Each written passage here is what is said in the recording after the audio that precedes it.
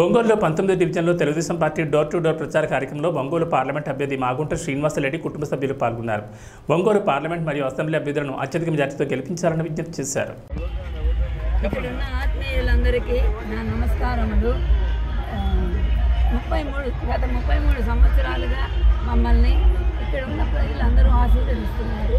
అదేవిధంగా ఈ ఎన్నికలలో కూడా మే పదమూడవ తేదీ వరకు పార్లమెంటు ఎన్నికల్లో పార్లమెంటు స్థానానికి పోటీ చేస్తున్న మాగుంట శ్రీనివాసరెడ్డి గారికి ఎమ్మెల్యేగా పోటీ చేస్తున్న రామచర్ల జనార్దన్ గారికి తెలుగుదేశం గుర్తుపై తెలుగుదేశం సైకిల్ గుర్తుపై ఓటు వేసి అందరూ ఆశీర్వదించాలని ప్రార్థిస్తున్నాను.